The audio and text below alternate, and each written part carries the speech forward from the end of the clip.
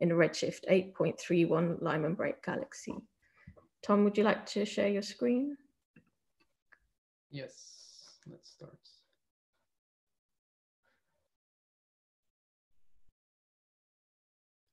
Okay, um, yeah, uh, welcome everybody. Uh, today I'd like to talk about how we characterize dust and uh, carbon in the epoch of reionization. And um, I've really enjoyed the, the question sessions inside the Slack previous couple of days. So I would like to suggest everybody who has questions to please uh, just throw them onto the throw them onto the Slack. And if I go too fast in this uh, in this presentation, please find these slides on my website. and the link is given there. So I, would like to talk about the dust budget crisis that um, that we're experiencing, where high redshift Lyman Break galaxies appear to have more dust than is able to be produced by supernovae and other phenomena. So um, this is actually quite surprising because initially we weren't quite so convinced, as for example, Jorge Zavalas showed yesterday, that uh, there that dust played a major contribution in the high redshift universe. So, um, however, here I would like to use a single galaxy, a high redshift Lyman Break galaxy, and show how we used ALMA to characterize both its spectral lines and its spectrum to look at um, to look at both this dust production and to hopefully provide a solution to this problem. So um, first I will talk about the source. I will talk about how the spectral lines are able to characterize the, uh, the metallicity and different properties of the source and how the dust continuum is a very important probe for future follow-up. So um, MACS 0416Y1 is a Y-band dropout behind the Hubble Frontier Field MACS Y1. So this uh, Lyman Break galaxy is a is detected, and we can see the spectrum on the left-hand side, where we see the redshift at redshift 8. It looks at around, or it is about 2 kiloparsec in size by 1 kiloparsec, and it looks like it's composed of multiple components. And provided by Tamura 2019, they executed an oxygen redshift search, and they find the redshift uh, at 8.3. They also detect the dust continuum at 850 micron, and the oxygen is well detected. Using UV to far infrared modeling, we can find uh, stellar mass and star formation rate that agrees with models of galaxy formation of a young stellar population. However, this young stellar population cannot account for the high metallicity we find of these sources. Neither can it account for the dust mass we find, further uh, suggesting a dust budget crisis. But this suggests that there exists an older stellar component at redshift 15. So yesterday's talk by Robert Sporsani uh, further exemplified this and the power of ALMA in, in these situations to probe older stellar components and uh, older production mechanisms. So together with the oxygen, it drove us to look for a C2 emission of this galaxy, another very bright spectral line. And unlike previous sources, we find that the spatial positioning of these sources is similar in both spatial positions and in velocity space. The oxygen and the carbon are coming from seemingly similar positions. This is strange because C2 is more associated with atomic or with neutral gas, while oxygen 3 is mostly only found close to very strong uh, UV radiation sources.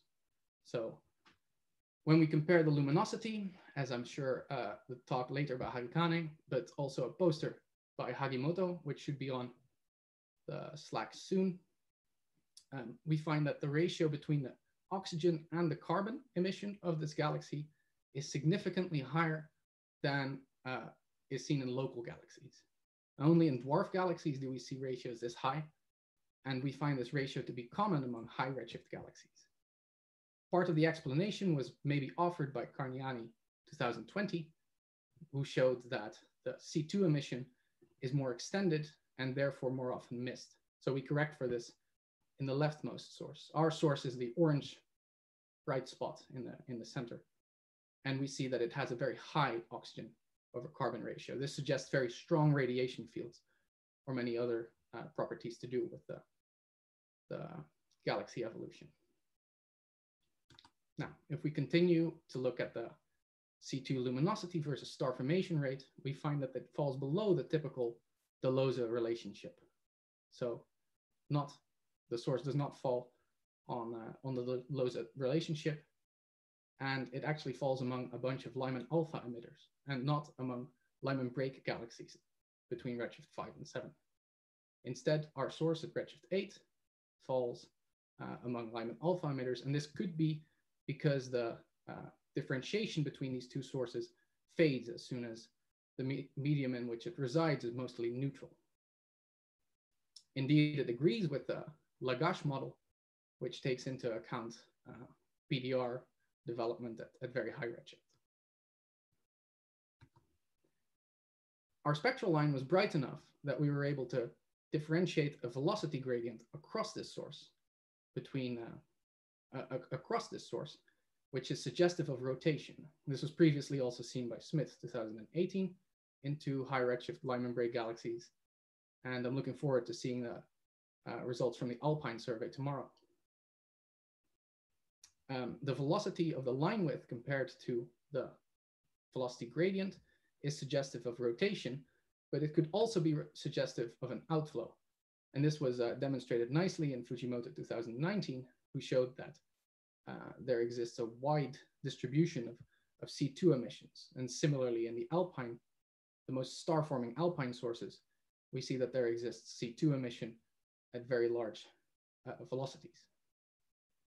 However, um, yeah, uh, this is also suggested by galaxy models, such as Arata 2019, which suggests a sort of pulsating galaxy evolution at high redshift. So here we see that it's very important to have both uh, the kinematics that ALMA is able to give and directly compare it to models. Now, if we just take a back of the envelope calculation, we put a little postage stamp onto this source, we can calculate that the mass loading factor, so the amount of outflow versus star formation rate, is on the order of 0.1 to 100, meaning that if in this, if indeed this is uh, an outflow, then outflows are significant in the early evolution of, of galaxies. I'm looking both to the talk later today and I'm looking forward to the talk of uh, Fujimoto tomorrow. Now, we failed to detect continuum emission around the C2 spectral line, while we did detect 88 micron continuum emission. And this puts a very strong upper bound on the spectrum of this source. As such, we expect this, uh, this source to be significantly high in temperature. And part of the reason that this is important is because such high dust temperatures mean that the dust mass, on average, is lower. This has also been suggested by galaxy evolution models such as Pallottini 2019, where they show that a lot of the dust exists uh, at relatively cold temperatures, but the predominant dust that is seen exists at high temperatures. So the dust, uh, the luminosity weighted dust mass is indeed uh, very high. Part of the reason this is a problem is because we look at these galaxies not just at continuum, but we're looking at spectral lines. So we're looking at oxygen 3 lines or we're looking at C2 lines. And typically in the local universe, these fall around the positions you're able to characterize the SED. However, at the high redshift universe, this could be that uh, we're missing out this information because it's both very difficult to probe short rest frame wavelengths and at the same time, not looking at a spectral line is more hard or is harder to justify. Just because the amount of dust mass is lower does not mean that the dust is less luminous. It could in fact be that dust plays a more important role than we previously assumed, but it would solve the problem of uh, the dust budget crisis. So maybe I went a bit quickly here, but I hope I've shown that uh, Lyman break galaxies are very important probes of early galaxy evolution. And uh, with these sources, and especially using ALMA on these sources, we're able to target spectral lines that are able to characterize the ISM of these sources and look at the morphology or the kinematics of them. Personally, what I find very interesting is the spectrum and the dust emission of these sources. And I'm looking very much forward to using uh, galaxy evolution models on uh, dust production and thus trying to constrain uh, stellar populations. I'm looking forward to your questions. Thanks. Thank you very much, Tom. Uh, we have a couple of questions. Um, Seiji Fujimoto asks, do you find any difference in the kinematic structures between the C2 and the O3 lines? Unfortunately, the O3 line was not uh, observed significantly enough to, to see velocity structure. Or when we looked at the moment, uh, the first moment map, we did not see any uh, velocity gradient. How much deeper do you think that data would need to be to extract any O3 kinematic? Yeah, so um, we uh, our oxygen line detection was around a sigma of 8 mm-hmm. while C2 was at 11 or 12. So it wouldn't have to be that much further. It could be an interesting uh, pursuit. I agree. Thanks. Um, we also have a question on um, what's the stellar mass of the Redshift 15 stellar population? Ah, this would be, I think, a factor of 10 higher. So allow me to switch through my slides real quick.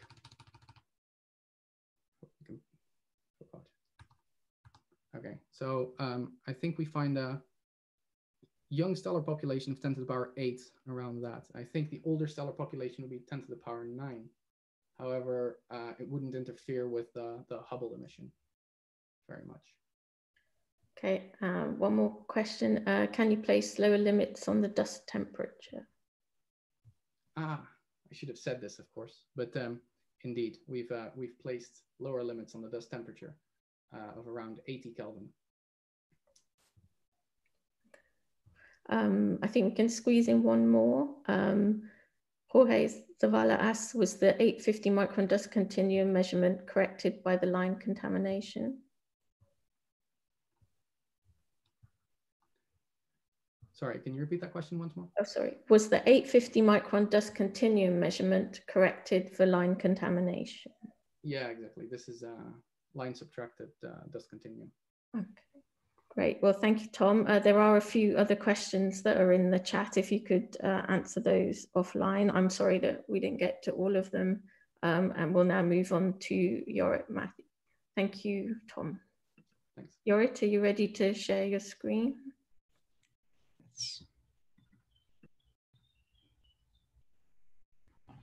All right, is it fine like this? Yeah, thank you. Okay, thanks. Uh, hi, everyone. Um, first, I want to thank the organizers for organizing this meeting, and it's very nice to see all these results and to actually catch up with many of you on the chat.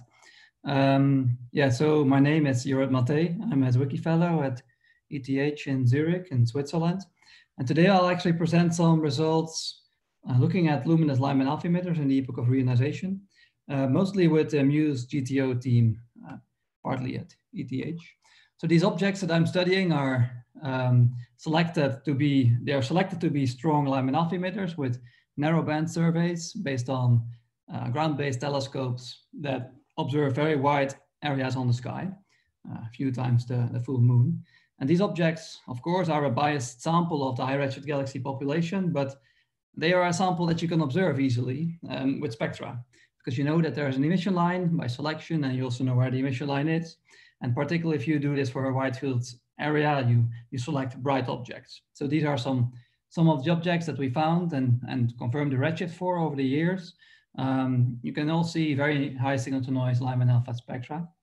Um, and just some general overview on these properties. So by selection, I think these galaxies reside in highly ionized regions, perhaps bubbles at the end stages of the epoch of reionization, because otherwise we would not see their Lyman alpha line with such high luminosity. The intergalactic medium would have uh, uh, rescattered the line out of the line of, line of sight.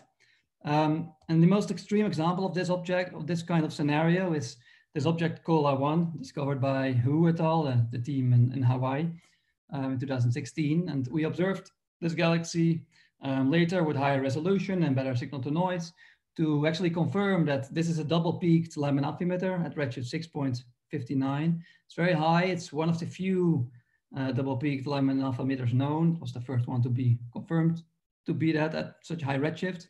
And the fact that you can see the blue peak of the Lyman alpha line really indicates that, that this galaxy is in a highly ionized region that's very large, uh, large enough to redshift to allow this blue, even the blue Lyman alpha photons to redshift out of the resonance frequency of the intergalactic medium.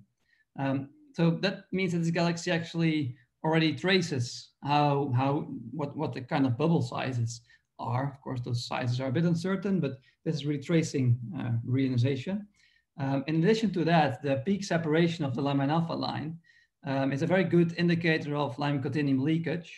And as seen in low redshift analogs of high redshift galaxies, this uh, continuum leakers are all double peaked and the peak separation, the velocity separation of these lines uh, correlates with the escape fraction of ionizing photons. Uh, for this galaxy, which is actually a very bright galaxy um, and it's compact, the escape fraction is actually, inverted escape fraction is very high. So this means that we are directly witnessing a galaxy contributing to reionization. That's nice. Um, looking a bit more into what are these kind of galaxies, um, I think many studies are now finding that luminous Lyman break galaxies and, and Lyman alpha emitters, which the samples overlap, um, consist of clumps in the UV continuum and as seen by Hubble and in the carbon 2 emission as seen uh, by ALMA. And I think some objects actually show dust continuum at different locations of the UV continuum as well. And these are clumps on two kiloparsec resolutions. And that resolution is not very high, I would say. Um, so these galaxies are really um, complex structures uh, that are assembling together. And it makes the spectroscopic follow-up a bit more challenging because you actually really need IFUs to, to be sure that you're observing the actual clump that you, you want to look at. Um, and in this talk, I want to present some results on Muse observations of this galaxy CR7 that we discovered in 2015. Um, there's a nice artist impression. The galaxy consists of three components in the UV continuum, basically three complexes of star formation. Um, already from the ground-based Subaru narrowband imaging, we saw extended Lyman alpha emission in green on this uh, image. Um, this galaxy is particularly interesting because it's one of the brightest Lyman alpha emitters at this high redshift. When we initially found it, it was a good candidate for hosting stars with properties that were predicted to be um, for population three stars. In particular, the absence of metal lines uh, and this tentative helium-2 line. Of course, signal to noise is not great. You would like to reobserve this. Uh, but it's still, um, this is a bit interesting because immediately when we found this, it was a bit of a mystery why you can get such a, high, uh, a massive and bright galaxy to um, host these uh, first generation or very low metallicity stars because the universe is 600 million years old, but there's still, there's still quite a lot of time that you need to um, make sure that the gas is not polluted by metals from earlier star formation. Uh, so it's kind of a, a problem, perhaps. Um, and the other more empirical issue with this object is that all the similar objects in terms of luminosity that you observe at later points in cosmic time are AGN and they're not powered by star formation. Um, I think the, the, the hypothesis that this galaxy is dominated by population tree stars was ruled out most convincingly by these re resolved carbon-2 line emission observations um, that we presented in 2017. And this image shows the UV continuum again, but in the contours, you can see carbon-2 emission from the interstellar medium. It overlaps with various UV components, and it, it's actually seen at multiple velocities. That, that's shown by the, uh, by the different uh, colors.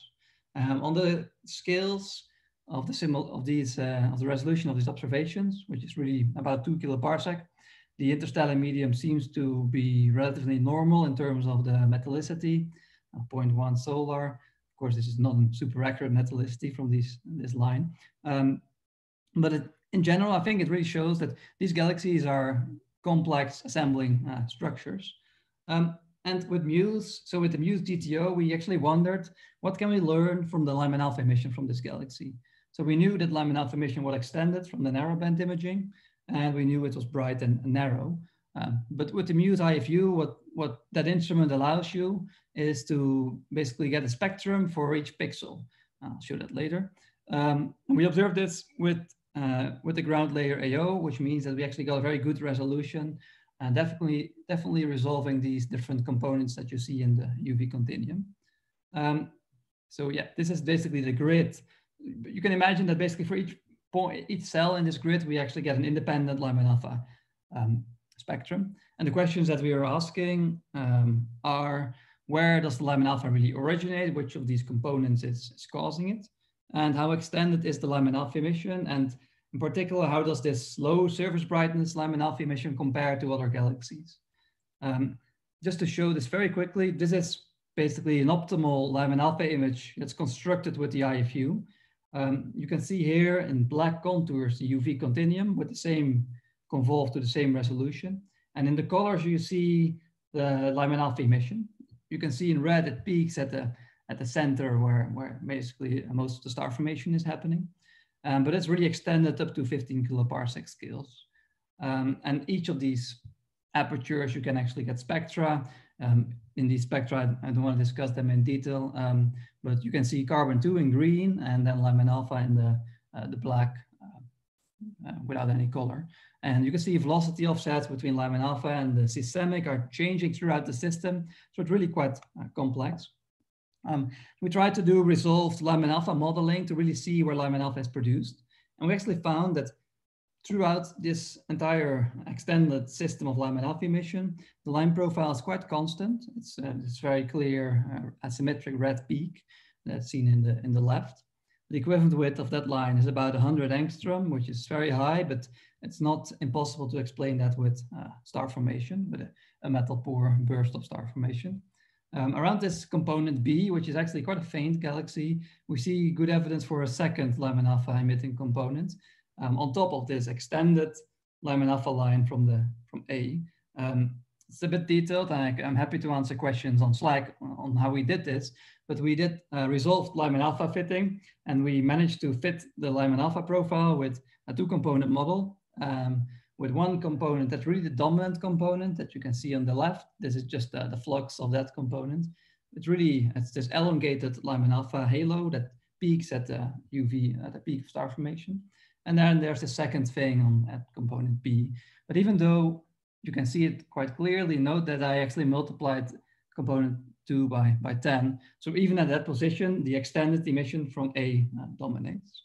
Um, and the extended emission is the last part that I want to discuss uh, for one minute. Um, similar to other studies that have been done with Muse, um, you can try to model the extended Lyman alpha emission with a combination of UV continuum-like and, and, an exponential halo.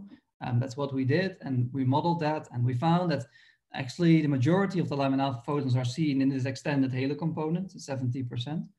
And you also see that the extended halo component is elongated in the, the direction of these other UV clumps. So this means that we see, we're seeing in this galaxy this complex structure where there are three uh, clumps of star formation uh, with, uh, with the ISM as well. But here we actually are seeing the gas in the circumgalactic medium that is nurturing these bursts of star formation. Uh, finally, regarding the profile of this extended emission, um, shown in the data points here, um, this profile is actually extremely similar to normal Lyman alpha emitters after the epoch of reionization observed with Muse. Um, those are shown in red, and the red dashed line is just an example of a single object at redshift 4 that's rescaled to have the same luminosity, and you can see this, the profile of the halo is very similar and within the uncertainties. So this is, seems to be consistent with this picture that the CGM of, of the, this galaxy this very luminous Lyman alpha emitter redshift 6.6 is similar to galaxies in the post-reionization epoch. And it's actually a bit different from a stack of fainter Lyman alpha emitters at the same time by Momose et al., We measure a much shallower uh, halo scale length. So that could indicate that these the fainter Lyman alpha emitters, their Lyman alpha lines actually scatter more because their, um, their environment is more neutral compared to this bright uh, galaxy. Um, I'm just going to leave you here with my summary, but I want to end with a short outlook. Um, the image here, this, this is an IFU image of the Lyman alpha light. And of course, the outlook that we're all waiting for is, is, the, is how this, this galaxy and others are looking uh, when we observe them with the NIRSpec IFU. And basically, the IFU has a field of view of three by three arc seconds. And um, if the Lyman alpha emission um, is actually produced in this halo uh, instead of scattering, we would see extended H alpha emission in the entire IFU of, of James Webb. So that's something to think about, uh, to look forward to. And um, I'm really happy to answer any questions now or on the Slack uh, later. Thank you. Thank you very much, Jorryt. Uh, we do have a few questions. So uh, Sultan Hassan asks, to do the fitting with the shell model, what parameters did you vary and what are their best values? So we, when we do the line fitting, we do not use a shell model. Um, we use uh, uh, an asymmetric Gaussian, um, skewed Gaussian. Um, but I, I, can show those those values on, on Slack. I think that's better. Okay. Uh, Maxime asks, do you have the kinematics of clumps B and C with respect to clump A? And if so, are these infalling like in a merger or outflowing? Um, we have, so clumps A and B are from carbon two, I think that's what he's referring to. Um, these are at the same redshift. So, so, sorry, clump B is at the same redshift as clump A. Uh, C is uh, redshifted with respect to it. Um, I, I, actually have to check to, to be to be fully sure. Um, but um, I'll answer that on the Slack to be to, make, to be sure I don't say anything that's wrong. Okay, um, and then a couple more. Do you? This is from John Chisholm. Do you see spatial Lyman alpha peak velocity shifts attributed to the major component? Uh, yeah, tentatively we do see that the this this uh, asymmetric uh, alpha line that's shown in the top left here becomes slightly the peak of that line becomes slightly redder towards the outskirts uh, of the of the halo, which um, is um, similar to seen in some redshift 3 Lyman alpha emitters and could be due to resonance scattering. But um, the other thing is that at this component B, we see this faint Lyman alpha emitting component, and that actually has a much larger uh, redshift with respect to the systemic than the main peak. Main peak is redshifted by 200 kilometers per second, this fainter component by about 400. Um, it's a bit challenging for that because there are actually two systemic redshifts at that position. So you're not sure.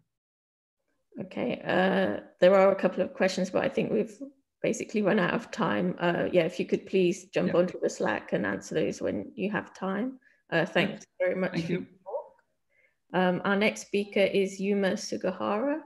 Um, would you like to share your screen, Yuma?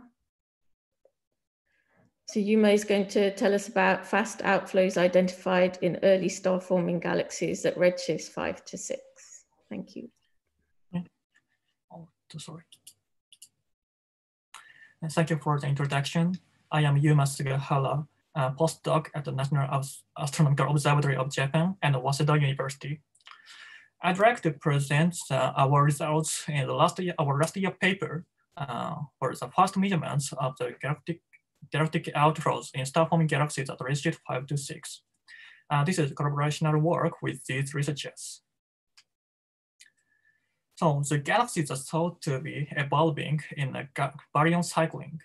And this picture is supported by many numerical simulations, but uh, it's difficult to observe this uh, baryon cycle directly, uh, especially for at high redshift.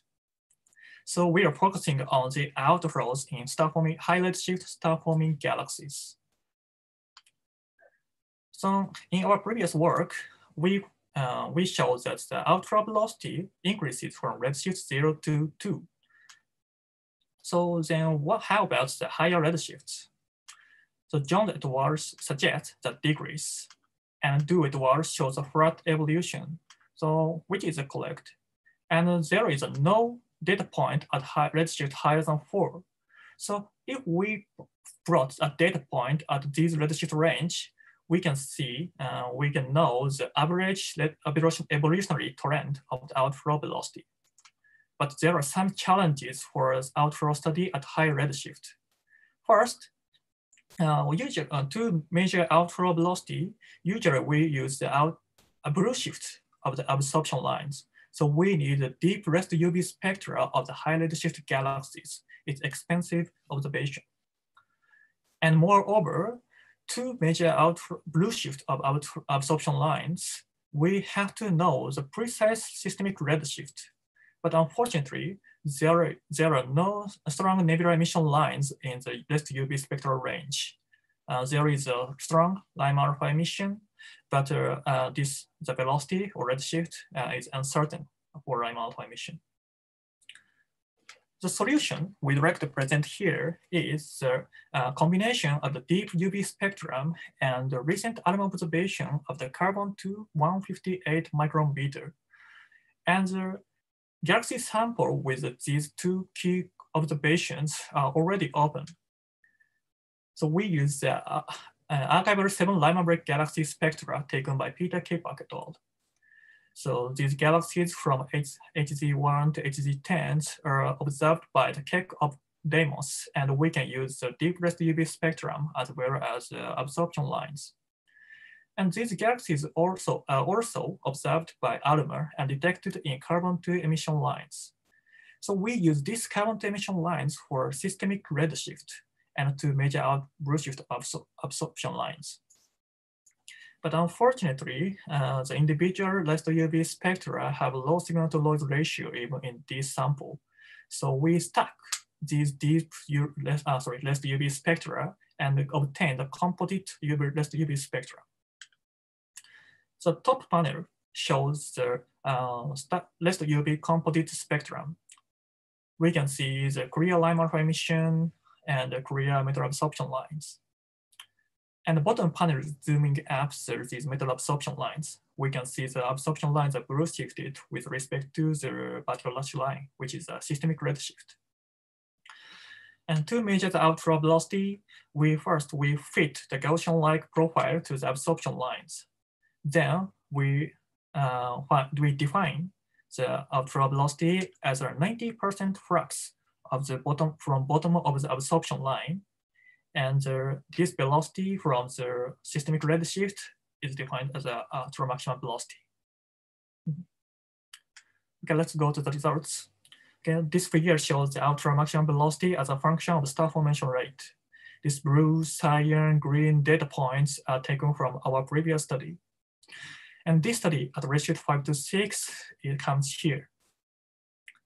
The orange data points are show the measurements for silicon 2, carbon 2, and silicon 4. And these three measurements are consistent with each other. And please look at the red square. Uh, this is a measurement for simultaneous fitting for the silicon 2 to silicon 2 and uh, carbon 2. And uh, this measurement, so the ultra velocity at redshift 5 to 6 is 700 kilometer per second. So this value is much higher than redshift zero, but uh, comparable to redshift two. And this is my first, our first result. The next, I plotted ultra velocity as a function of the halo circular velocity. We calculate halo circular velocity from the mass with, uh, with using uh, these relations. Our observational data points are like on a line in a sing on a single relation. And interestingly, our observations are in good agreement with the prediction by numerical simulations. So this black solid line is a FIRE simulations, and the dashed line is Illustris TNG 50 simulations results. So supported by these numerical simulations, our observation suggests that the halo circular velocity strongly correlates with the ultra maximum velocity Again, this is a, uh, a little shift evolution of our maximum velocity. Uh, our data show our data is consistent with the uh, numerical simulation lines and the previous observational results, Jones et al., uh, except for these data points. So this figure shows the ultra maximum velocity monotonically increases with increasing redshift. And this evolutionary trend is naturally interpreted as a, interpreted if ultra maximum velocity linearly correlates with circular velocity. Because halo circular velocity is proportional to redshift to the 0.5 at fixed halo mass. So if ultra maximum velocity linearly correlates with halo circular velocity, uh, maximum velocity should follow the same follow the same uh, equation relation. That is, the ultra maximum velocity rapidly increase at lower redshift and uh, relatively flat evolution at higher redshift. Okay, I okay I show the ultra maximum velocity is uh, tightly correlated with halo circular velocity.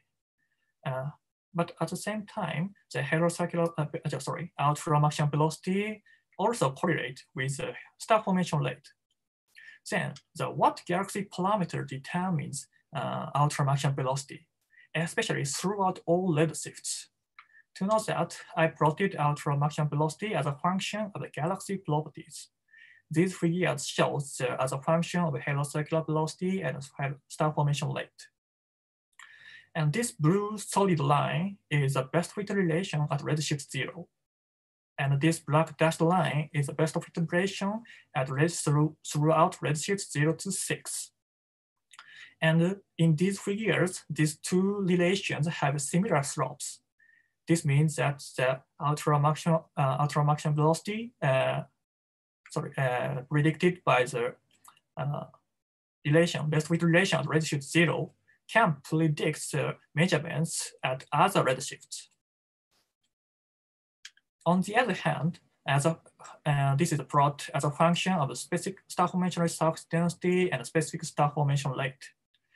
In these figures, these two relations have totally different slopes. This means that star formation rate surface density and the specific star formation rate can, uh, can explain the ultra velocity at a fixed redshift.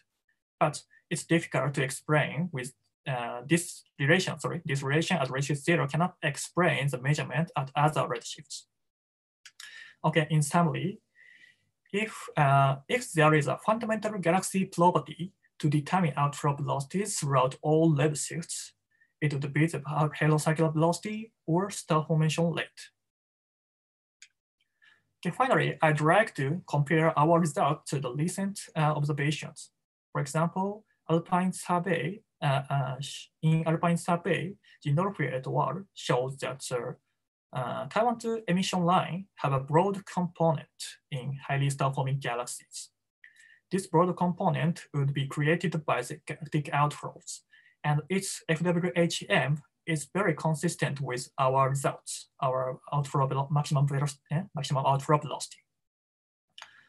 And Fujimoto et al., uh, who will give talks tomorrow, uh, finds that the spatially extended carbon-2 emissions, uh, comparing to the UV stellar, stellar, uh, UV stellar luminosity, UV stellar light. So this spatially, uh, extended carbon-2 emission might be explained by the past outflow activity. Like these observations, I think the uh, outflow study at astrophysical study at high redshift will get much progress with upcoming of new observations. Okay, this is a summary. Mm -hmm. And thank you for your time. Uh, thank you very much, Yuma. Um, so we have a couple of questions. Uh, Matt Hayes asks, um, I think I, I think saw various different absorption lines mentioned, uh, C2, and silicon 4? Are the Vmax mm-hmm. constant with the ionization potential of the species or is there some variation? Uh, thank you. Uh, it's a bit difficult question because uh, our first, our, oh, sorry, okay. Our results show the it's constant. So the silicon carbon two, silicon two, and silicon four shows the uh, velocity comparable velocity and uh, comparable velocity with each others. But uh, they have a large, relatively large levels. So the yes, in our in our analysis with a stacking uh, UV spectrum, um, the, these different absorption lines show similar ultramaximum velocities. Yes, that's it. Thank you. Uh, another question from Roderick Gavertier. Uh, Vmax probably correlates strongly with star formation rate surface density. Could you comment on that? Uh, yes, thank you. So the yes, as the previous papers ultra maximum velocity will correlate with the halo cycle, uh, sorry, star formation rate surface density.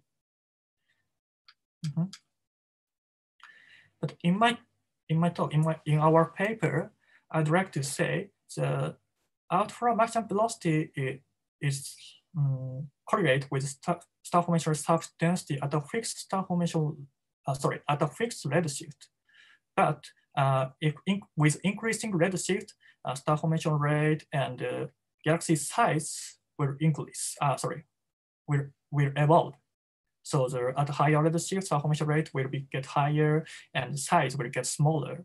So we'd like to uh, check uh, our, our results show the ultra specific star formation rate surface density can explain the ultra maximum velocity at a fixed redshift, but this relation cannot explain throughout all redshifts.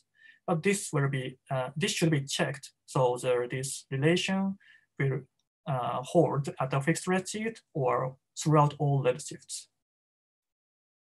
Okay, uh, thank you. There's another question from Daryl Santos. Based on your results, can we consider the possibility that outflows promote star formation activity at higher redshift?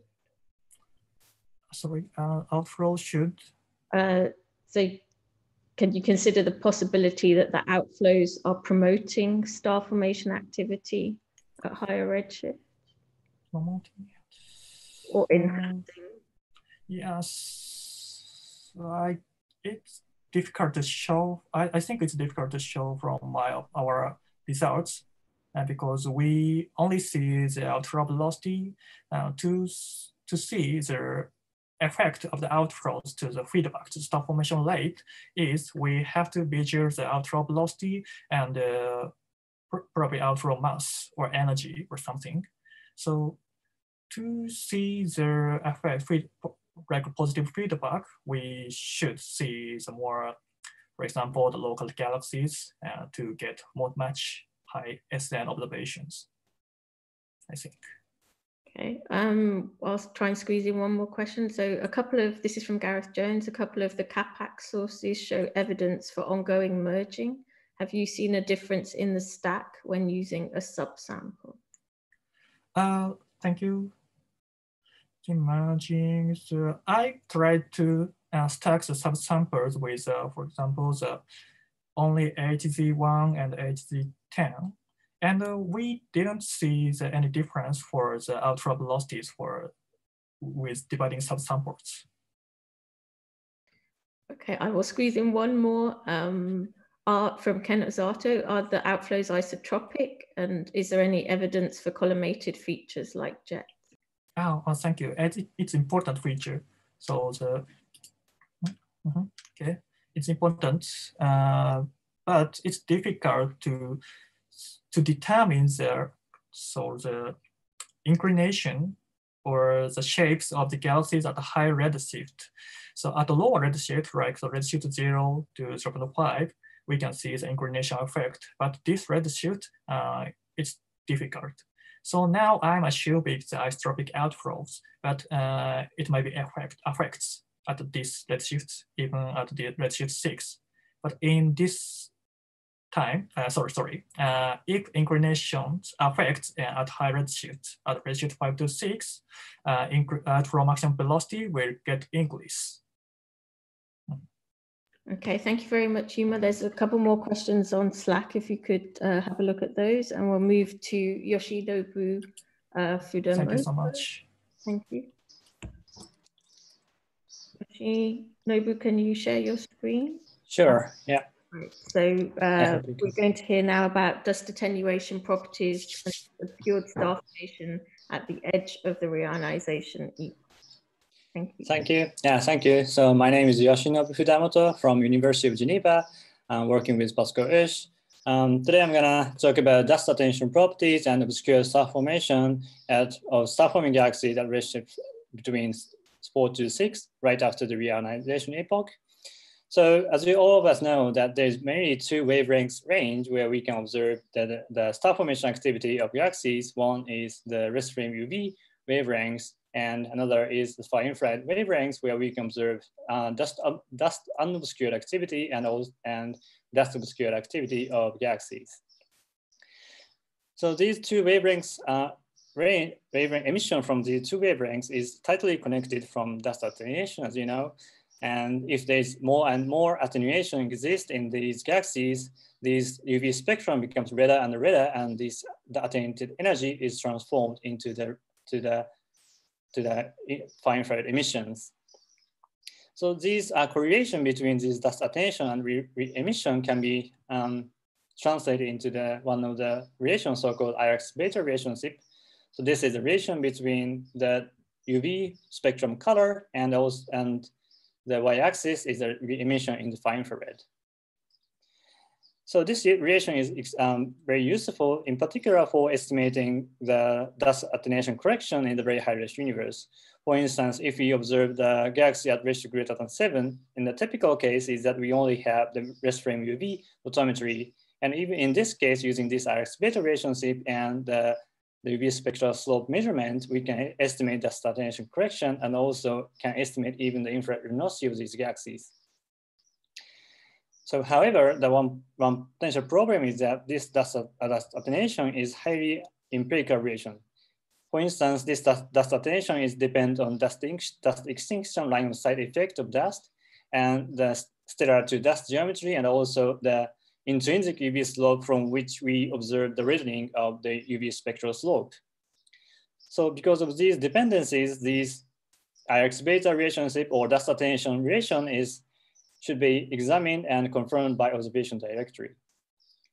At risk around two, for instance, Spitzer observations are deep enough to detect infrared emission of these galaxies, and Reddy et al. Find, found that these main sequence galaxy is still consistent with the local uh, relation found by Meurer 1999. However, at more high-risk universe, the situation becomes a bit different because we, we need ALMA to observe far infrared emission individually. And in the first first ALMA surveys has revealed that the, this galaxy could be um, very faint in far infrared, suggesting some evolution of dust attenuation properties. And for instance, a couple of years ago, uh, Peter Capak 2015 has shown that this indeed this IRX beta relationship could be different in at very high risk universe and compared to the lower redshift galaxies, this infrared emission is is much, much fainter than expected from the UV colors. However, these observations are uh, based on a relatively small number of observations, so we need to increase sample size to, to confirm and expand these studies. So uh, we studied the collaboration in the Alpine survey so just quickly, introduction about Alpine survey is that this is the ALMA large program to observe large sample of main sequence galaxies at redshift 4.5 to 6. Um, our main sequence galaxy is wide, wide parameter space, uh, almost 2x both in stellar mass and star formation rate. And using 70 hour of ALMA time, we, we targeted C plus emission line and dust continuum and got a large fraction of C plus emission line detection and also measured a large amount of flux measurement of these galaxies. As you may know that, that the, the result of from our Alpine survey has already been published and several projects is still ongoing. And if you are interested in, please look at these individual paper, but but for the tomorrow session, we will, the Seiji Fujimoto will talk about C plus halo uh, studies and Yana Khusanova will talk about obscure star formation rate density and Gareth Jones will talk about C plus kinematics. So um, as you know, the Alpine survey is led by Olivier Le Fèvre, who has um, sadly passed recently. Uh, he was, yeah, during this co collaboration, he was a very energetic leader of this collaboration and I, it was great honor for me to to work with him. And I uh, terribly feel feel terribly sorry for his passing. Yeah, so let's go back into the uh, dust attenuation of high-risk galaxies. So to study these uh, dust attenuation properties, we first need to estimate infrared luminosity of these galaxies. To do that, we first created the, the average infrared SED of these galaxies using alpine analogs in Cosmos in terms of stellar mass and star formation rates similar to the alpine selections. Using st stack analysis of Herschel and Scuba 2 and ALMA images, we created this um, average SED of applicable to these alpine samples to estimate infrared luminosity of these galaxies. And then because these galaxies have a large amount of ancillary data set, using these ancillary data, we performed SED fitting to estimate UV luminosity and UV spectral slope. So using these informations, we uh, created IRX beta diagram for, it, for these high resolution galaxies. These field points are individual detections and this uh, downward triangle is the three sigma upper limits. And squares are the stacking analysis for which I used uh, both detection plus non-detections. Blue is registered around 4.5 galaxy and red is for red registered greater than five galaxies. So first thing is that these individual detection and stacking analysis show that these galaxies have, have relatively lower IRX, IRX value than compared to the, to the lower ratio local, local IRX beta relationship. And another thing is that this galaxy, the distribution of beta apparently exceed much bluer than the in intrinsic UV spectral slope measured or expected from the lower local universe. So our conclusion here is that this galaxy can be characterized by Brouwer intrinsic beta, characterized by minus 2.63, and then the, these, these galaxies are consistent with very steep dust attenuation curve, similar to SMC like, like dust extinction.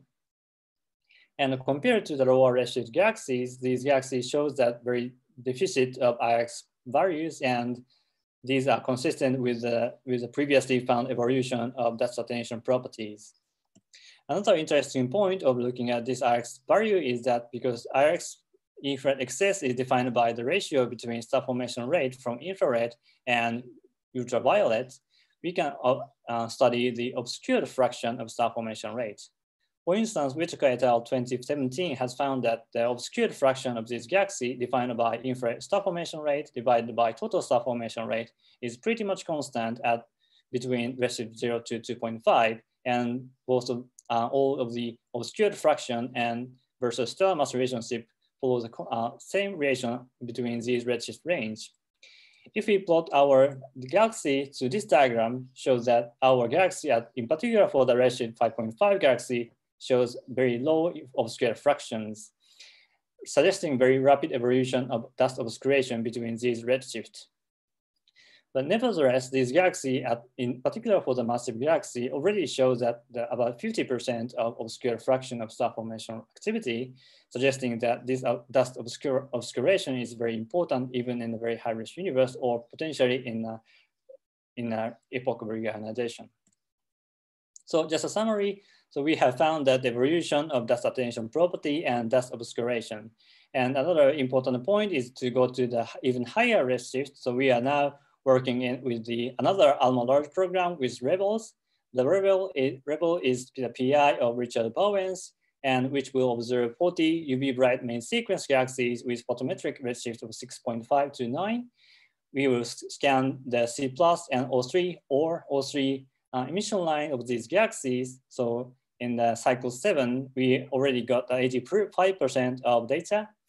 And then we are getting very, these very exciting uh, results, and hopefully in the near future we will can we can have we can publish uh, these exciting results quite soon. Thank you very much. Thank you very much. Um, we have a couple of questions. Um, the first is from Denny Bogarella. Using a sample of Redshift 5 LBGs, we found that a dust temperature of about 56 Kelvin I think alpine galaxies are also UV selected. Did you estimate the dust temperature for alpine and how does it compare to other work? Yes. So in, yeah, for example, in, in this SED model, we measured about 40 Kelvin of peak dust temperature, which seems to be a slightly different from, uh, yeah, slightly a bit lower than the, the other result. Yeah, and also we measured like four galaxies for, with multiple multi-band observation with ALMA and which, which are very consistent with our uh, results. So this galaxy have seems to have about 40K in our sample. Um, and do you think there's any difference in selection that's causing that difference compared to other samples? Yeah, very good question. Don't worry if you haven't thought about it. Mm. answer it in this. yeah, it's a very difficult question, and I, don't, I sorry, I don't have uh, answer at this point. Um, we have another question from Laura. Uh, how do you compute this uh, infrared star formation rate for single sources having only one continuum observation? Yeah, that's very tricky, tricky point. And um, yeah, we yeah, in- in principle we don't know the the the individual shape of fine infrared SD. So we are standing on the we are we are uh, pretty much relying on this average infrared lumino or a- average infrared SED. So yeah, on the on the uh, so individual sample could be the scattered because of these difference of high infrared SED, but on the on the ensemble average, we should be the safe sort of these stacks should be um, yeah should be consistent with this average SED. So we are our yeah we are pretty much relying on this average data point. Um, there's a question from uh, Rebecca Bowler. Uh, in making your IRX beta relation, did you stack in bins of beta of beta? Um, McLure 18 showed that the stacking this way can cause a bias in the derived relation.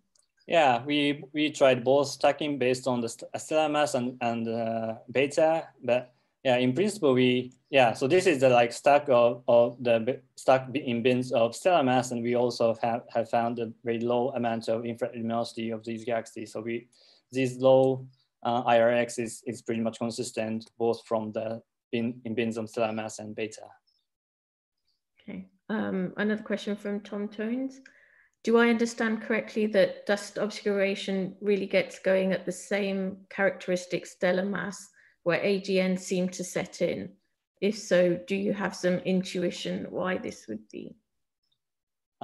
Uh, sorry, so do you, is this question about AGN contaminations or? Um, uh, I think it's that the dust obscuration gets going at a similar stellar mass to where AGN will have an impact. So, do you have some intuition why this might be?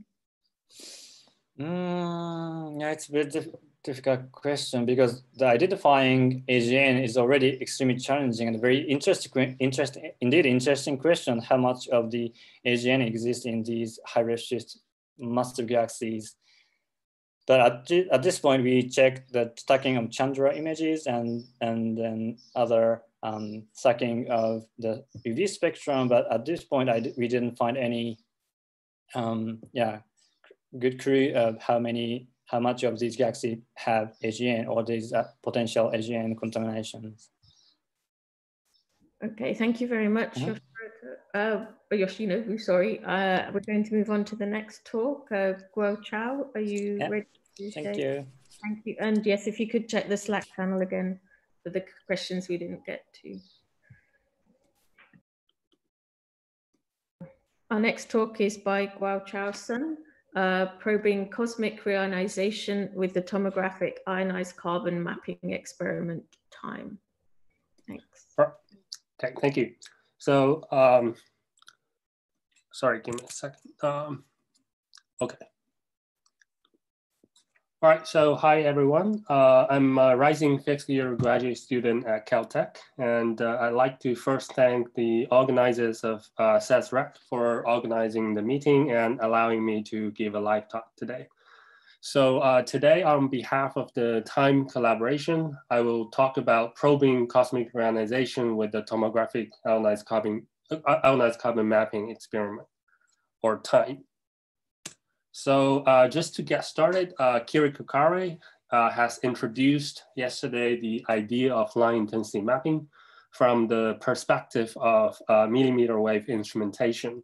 But just in case some of you are still unfamiliar with this um, relatively new idea, I'd like to first quickly review the basic concept. So conceptually, intensity mapping uh, refers to the statistical measurement of spatial fluctuations in the intensity of a certain emission without resolving individual emitters. So here is an illustration of uh, what basically what intensity mapping measures. So the two panels here um, contrast, or I mean, compare the halo density field against the line intensity field, tracing the dark matter distribution in a like sort of smeared manner. And because individual emitters are not resolved, intensity mapping provides an economical way to survey the large scale structures in our universe with uh, relatively coarse beams. And more importantly, um, intensity mapping is complementary to galaxy detection in the sense that instead of probing just the bright emitters, uh, photons from even the faintest galaxies or diffuse emission can be captured in this case. And you are welcome to check out this uh, review article by Ely Kovetz et al. for further details about the intensity mapping technique. Okay, so as we know that um, there are still a lot of open questions about the EOR and the cosmic dawn. And this is basically uh, why we gather here today. And the answers to these questions can be actually studied by um, either resolving the sources, namely trying to detect individual galaxies and quasars, or by mapping the collective emission, line, uh, the collective uh, line emission as what people do with uh, line intensity mapping technique. So as shown in this plot, um, the ionizing sources driving reionization can be studied by mapping tracers of star formation activities, such as uh, H alpha, Lyman alpha, and C2, whereas the island of neutral IGM can be mapped by the 21 centimeter line of atomic hydrogen. And the complementarity between these tracers of ionized or um, and uh, neutral gas means that their cross correlation can actually be used to confront foreground contamination and more importantly, to constrain the reionization topology by tracing the size evolution of, of ionized bubbles. Okay, so there are a few reasons for uh, C2 to become the target signal of our experiment time to study reionization. So first of all, the 158 micron C2 line is the major coolant of the neutral ISM, which makes it uh, actually the brightest far infrared line that comprises up to 1% of the total far infrared luminosity of typical galaxies. Next, uh, it has been, the C2 line has been identified as a reliable tracer of star formation with almost the same line luminosity uh, versus SFR relation holding from local universe to redshift as high as five or six. And also, uh, as I've mentioned, that the cross correlation of 21 centimeter signal um, be between the 21 centimeter signal and C2 line um, in, in, the near future we will be able to measure the size evolution of ionized bubbles. And finally, the EOR C2 signal uh, into a relatively transparent atmos atmospheric window, which is important for uh, ground-based observation like time. Okay, so just to give you some quick overview of the instrument and the kind of survey that we'll uh, uh conduct. So the instrument of time is simply speaking a high throughput imaging spectrometer array consisting of two major components. So one is a total of 32 grating spectrometers that are divided into two banks and one of which as shown here. And the other is the superconducting TES bolometers, uh, which is why we need this multi-layer uh, or multi-stage cryogenic system to cool the detectors all the way down to about 250 millikelvin uh, for the detectors to, to work. And the instrument will be installed on a 12 meter ALMA prototype antenna at Kitt Peak. And here, uh, the photo shows the moment when our cryostat was uh, moved into the cabin of the 12 meter telescope during our first engineering run in the winter of 2019. And in terms of the survey strategy, uh, as illustrated here, uh, time is designed to conduct a 2D line scan to optimize the sensitivity and k-space coverage.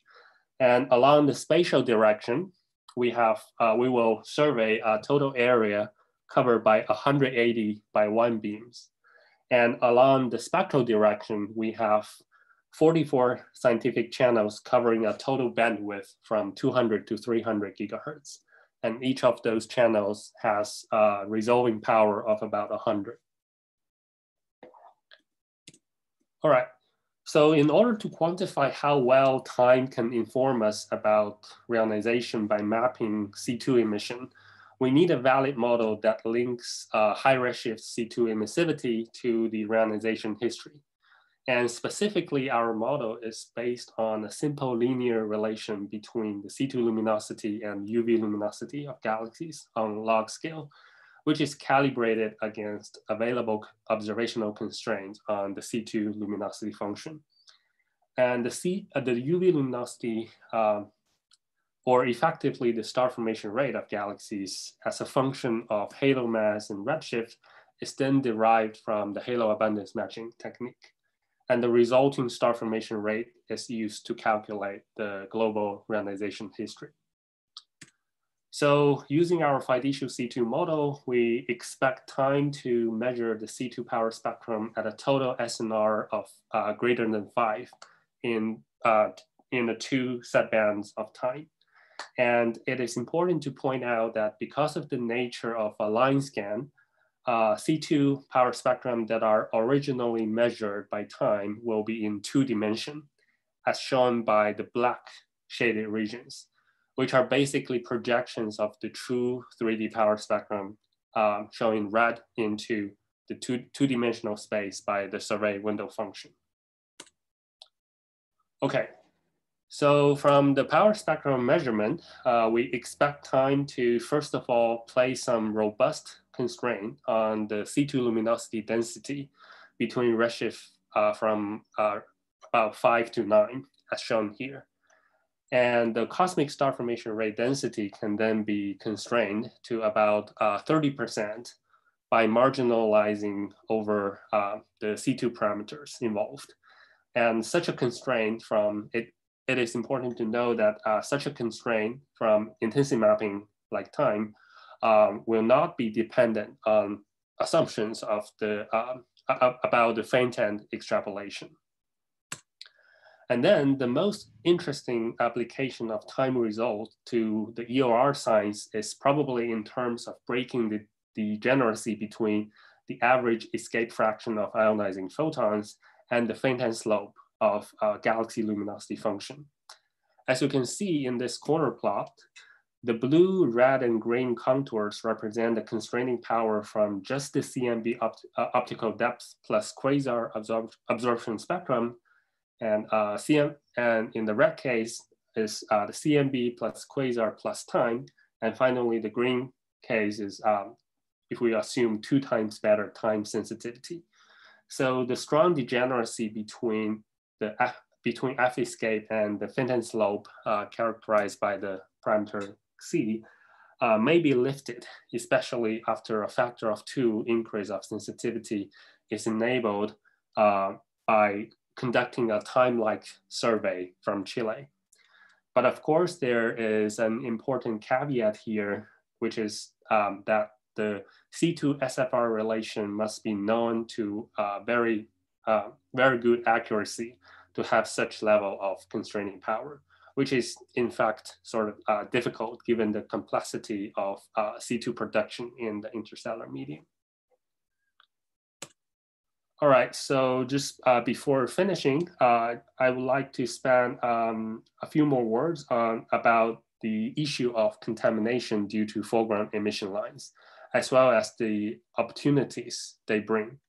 So in practice, uh, time will only see the, uh, time will not only see the EOR C2 signal, but also pick up a series of CO rotational lines from lower redshift, as you can see in this plot.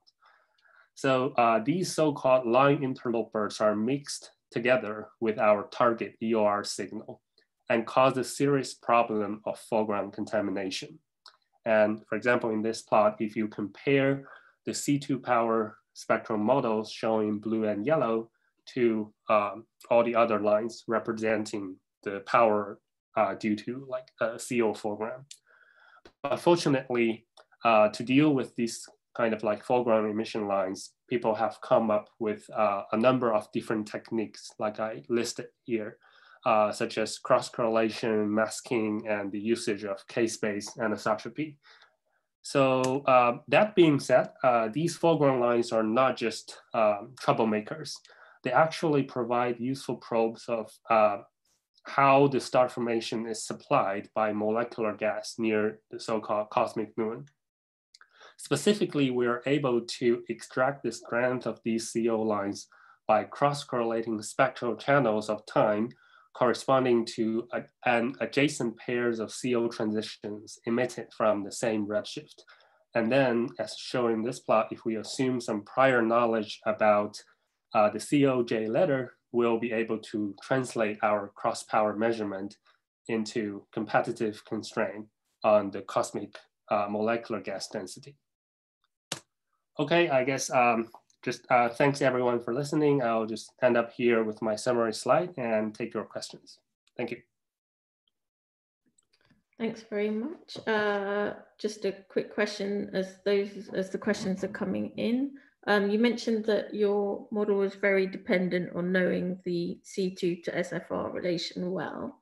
Uh, mm -hmm. Have you thought about different far infrared star formation traces to help you calibrate that relation or, or looking to some of the other lines that you're open to detecting?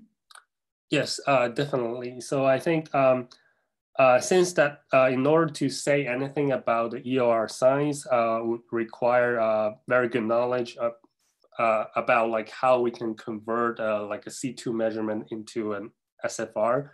We definitely want to consider in a like a multi-tracer context um, by including some other lines if if they're available. They, they, they won't be they won't be available directly from our like time data set but by combining with some ancillary data, like um, say the observation of O3 or some even some nitrogen lines, we're hoping to um, like use this like multi-tracer technique to be, to help us better understand how we, we should con convert our like C2 intensity into uh, star formation rate estimation. Um, I think Renske Smit had a related point in that the O388 line is brighter than C to for many of the Redshift 8 uh, EOR galaxies exactly, and yeah. easily detectable. Um, and does that also help you to get rid of the interlopers? And would it be a better tracer than C2 to target? Right. In in some sense, yes. Um, like uh, I think, uh, especially in the past few years, I think there are a lot of research about like um, like O3 being a, like a brighter and even like more promising tracer of star formation rate uh, in a very high redshift universe compared with C2. So I think uh, definitely uh, the, and that, but like unfortunately time will not see it first of all, but uh, I think a joint analysis or like um, will, will benefit a lot, a lot from the like recent studies of O3, like when we are um, investigating our like C2 observations. Okay, uh, I'll squeeze in one more question. Uh, how would your results change if the C2 SFR relation would break, i.e. change towards a steeper slope at low SFRs? That's a question from Yorick. Right, so um, the, the C2 SFR relation, um, sorry, um, will mostly affect the shape of the power spectrum. So the exact slope and um, the intercept of this relation will have uh, strong effect on the exact shape of the C2 power spectrum that we see. So uh, depending on the direction of changes, um, we'll probably have a lower or higher signal um, from our observation. So, so, but that also means that our power spectrum measurement will be uh, like a sensitive tool to like help constrain the C2 SFR relation. Okay, thanks very much, Jason. Uh, we'll move on to the final talk now, um, which is Yuichi Harikane. Uh, would you be able to share your screen? Yes. Um, so Yuichi is going to tell us about a large population of ALMA galaxies at redshifts greater than six with high O388 to C2 uh, flux ratios. Okay, so can you see my screen? Yeah. Okay, great. So hello everyone, I am Yuichi Harikane. Uh, today, uh, so first of all, thank you for giving me this opportunity to give a talk. So today I will talk about our recent ALMA observations of high redshift galaxies and ISM properties of high redshift galaxies. Okay, so ISM properties, interstellar medium properties of high redshift galaxy is important to understand cosmic reionization.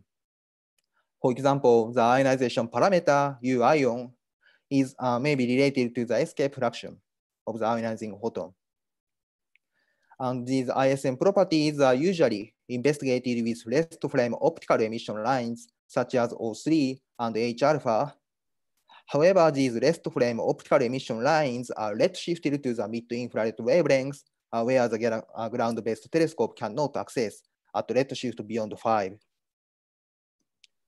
On the other hand, as far infrared emission lines, uh, such as O3 88 micron and carbon 2 158 micron, can be observed at redshift beyond 5 uh, with ALMA. And indeed, ALMA detect uh, O3 and carbon 2 emission lines from several high redshift galaxies, uh, including the most distant emission line galaxy reported at redshift 9.11, and also the redshift 8.3 Lyman Break galaxies Tom reported, uh, Tom showed in a previous talk. However, there are only six galaxies uh, with both O3 and carbon-2 observations. So in this study, uh, we show more examples with, uh, uh with uh, O3 and carbon-2 observations and study the ISM properties of such high redshift galaxies using uh, O3 and carbon-2 observations. Okay. Yes. So our targets are three Lyman Break galaxies at redshift 6 uh, identified from our Subaru Hyperspin-Cam survey. As the Lyman alpha emissions are clear, uh, spectroscopically confirmed, as these three Lyman break galaxies are uh, spectroscopically confirmed with Lyman alpha emissions uh, shown in this uh, bottom uh, spectrum. Okay. And we conducted ALMA observations uh, for these three target targeting O3, carbon 2, and nitrogen 2 emissions. And here I show the result. So these panels show the emission line map of the O3, carbon 2, and nitrogen 2 of our three targets. Uh, we clearly detect O3 and carbon 2 emission lines uh, more than four sigma significance levels uh, whose positions are consistent with the UV counterpart. Nitrogen 2 emission lines are not detected. And these panels show the spectrum around the emission lines. Uh, we can clearly identify these uh, emission lines of O3 and carbon 2, and the redshifts are consistent each other. Then we calculate the O3 and carbon 2 luminosities and compare with previous result. So both panels shows uh, these two panels show the O3 luminosity and carbon 2 luminosities as a function of the star formation rate. And our redshift uh, and our redshift six galaxies are indicated with these uh, red diamonds here. And other high redshift galaxies are indicated with these uh, red circles and blue and green lines show the lo uh, lo local galaxy relations. So blue line shows the local galaxy, uh, local dwarf galaxy relation, and green line shows the local starburst galaxy relation. So as you can see, O3 uh, regarding the O3 luminosity, uh, high redshift galaxies uh, shows a comparable O3 luminosity to the low metallicity dwarf, uh, local dwarf galaxy relation with uh, this blue line. On the other hand, uh, regarding the carbon 2, uh, most of the high redshift galaxies shows uh, carbon 2 luminosities lower than low metallicity dwarf galaxy relation.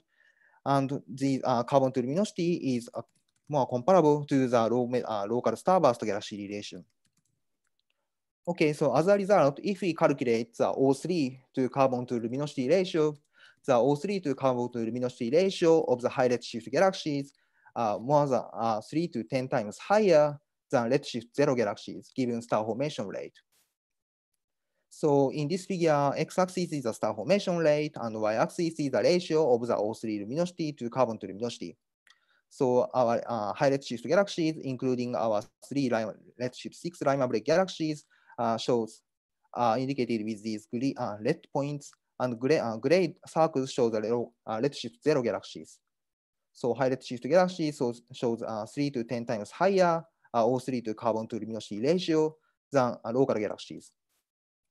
Actually, this trend is uh, reported in previous work by Nicolas Laporte et al. 2019, but this time we confirm this trend uh, with larger, uh, larger sample. Also, very recently, uh, Stefano Carniani et al. 2020 uh, report a possible carbon-2 detections in some of high redshift galaxies uh, that were previously reported as upper limits. But if we use uh, the carbon-2 luminosities reported in Stefano Carniani's paper, then still it shows uh, the uh, higher O3 to carbon-2 luminosity ratio uh, than the local galaxies. So anyway, uh, it looks like the O3 to carbon to luminosity ratio of the high redshift galaxies may be higher than local galaxies. So this uh, high O3 to carbon to luminosity ratio may indicate some uh, evolution, redshift evolution of the ISM properties. So it's important to understand the physical origin of this high O3 to C2 ratio. So in order to uh, investigate the physical origin of O3 to high O3 to C2 ratio, uh, we, we conducted Claudy calculations. In order to make the discussion easier, I convert this uh, plot to this plot. So in this plot, uh, the x-axis is the star formation rate, uh, carbon to luminosity to the star formation rate, and y-axis is the O3 luminosity to the star formation rate. And red points shows uh, high redshift galaxies, and gray points show the redshift zero galaxies. And right panel shows the cloud results of the Claudy cal calculations. It's a little bit complicated, but these lines uh, show the ratio at fixed metallicity and density with changing ionization parameters. So color shows the fixed metallicity and dotted, dashed, and solid line shows the different density. And if, for, for example, if we increase the ionization parameters, then O3 uh, luminosity increases while carbon to luminosity decreases. So if we increase the ionization parameter, it moves to this uh, direction indicated with this red, uh, red arrow. Also, if we in, uh, increase the density, then both O3 and carbon to luminosity decreases. So it moves to this direction indicated by this uh, red diamond here. Also, if we decrease the uh, metallicity, then O3 uh, luminosity changes uh, to uh, decreases while uh, carbon to luminosity does not significantly change. So among these three parameters, we found that a higher ionization parameter can explain the high O3 to C2 ratio. So compared to the local galaxies, 10 times or 100 times higher ionization parameter can explain the high O3 to C2 ratio. On the other hand, as carbon emission mainly come from photodissociation regions, PDR. So PDR covering fraction, CPDR, is also an important parameter. So if the PDR covering fraction is zero, then it indicates that it indicates that that galaxy has no PDR. So we found that a very low PDR covering fraction can also uh, explain the high O3 to C2 ratio observed. So this is a schematic figure of the high redshift galaxies. So compared to the local galaxy, uh, low metal, uh, local galaxies, high redshift galaxies may have uh, 10 or 100 times higher ionization parameter, making a larger ionized bubble, uh, making the larger H2 regions, or the very low PDR covering fraction.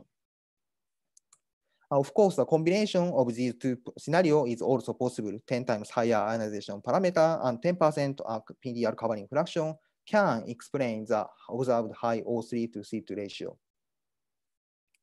Okay, so if this scenario is true, then Lyme alpha photons escape uh, from these galaxies. So in order to check this, this uh, scenario, we check the correlation between the O3 to C2 ratio and Lyme alpha equivalent width. And we found a possible correlation between these two quantities. So it indicates that higher ionization parameters or lower PDR covering fraction can enhance the Lyme alpha escape and, and eventually Lyman continuum escape from galaxies. So it indicates that high O3 to C2 uh, ratio galaxies may uh, significantly contributing uh, to the cosmic reionization. Okay, so I will summarize my talk. So we confirmed high O3 to C2 ratio of the high redshift galaxies uh, with larger samples.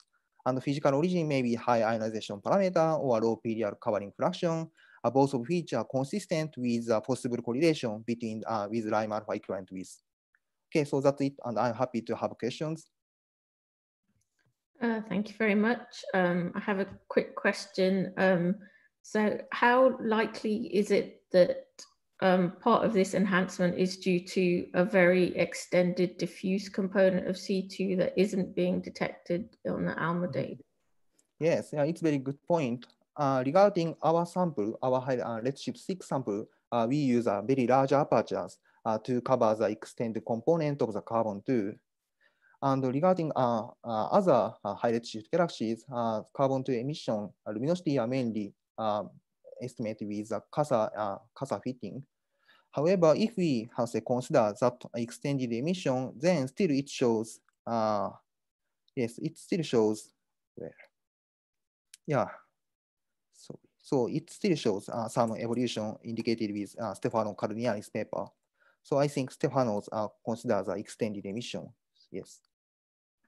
Okay, thanks. Uh, so we have a question from Hayato Shimabukuro. In the case of uh, Redshift 6 to 9, O3 to C2 is higher than Redshift 0. How about at intermediate redshifts? Mm, it's uh, yeah, interesting question. So if it's just a monotonic evolution, then uh, intermediate redshift galaxies would be located here. But the difficult point is that it's very difficult to how say uh, investigate the O3 and carbon emissions of uh, these uh, intermediate redshift galaxies. Um, I'll just add, there are some measurements from uh, the PACS spectrometer at redshifts one to two that I will -huh. in the chat. Um, okay. Another question from Jorryt. Uh, interesting multi-line analysis and comparison to photoionization models. In your plots, you show equivalent width um, of integrated Lyman alpha. Could you clarify how you measured the intrinsic Lyman alpha equivalent width for the object? Yes, yeah, it's interesting. Uh, good point. Yeah, we uh, convert the observed Lyman alpha equivalent width uh, to the in intrinsic uh, Lyman alpha equivalent width using the redshift dependent relations calibrated with the Lyman alpha luminosity uh, function and the UV luminosity function. A question from Kristian Finlator. Is it possible that when explaining high O3 to C2, an ionization parameter is actually degenerate with an alpha enhanced ISM? Uh-huh, yes. So I think it's relative to, yeah, yeah, the, how say, the carbon, carbon oxygen abundance ratio, right? So yes, yeah, carbon, uh, the low carbon oxygen abundance ratio can, how say, partly explain the high O3 to C2 ratio. But if we, how say, take the very extreme case of the lowest carbon to oxygen abundance ratio, uh, still uh, some of the high redshift galaxies, uh, like these galaxies, cannot uh, explain. So we need combination with other effects, I think. Okay, one last quick question from Dan Coe. Will NIRSpec definitively distinguish between high ionization and lower PDR covering factors? Yes, yeah, exactly. Yeah, NIRSpec can, how say, measure the ionization parameters using O3 to uh, O3 to O2 ratio, so we can de uh, degenerate uh, these two scenarios with JWST NIRSpec. It's very exciting, I think. Well, thank you very much, Yuichi, and for all the talks we had in this session. They were really fantastic talks. Um, there's still a lot of questions that we didn't get to, and apologies that we didn't get to your question, but please do carry on the chat in Slack. There is now a break discussion uh, with the topic of surviving the quarantine, uh, sharing your stories of how you relieve stress during the quarantine. Um, the link for accessing that is in the general Slack chat, Slack channel. Um, so please do go and join in there. And otherwise, we will see you back here uh, in half an hour. Thanks, everyone.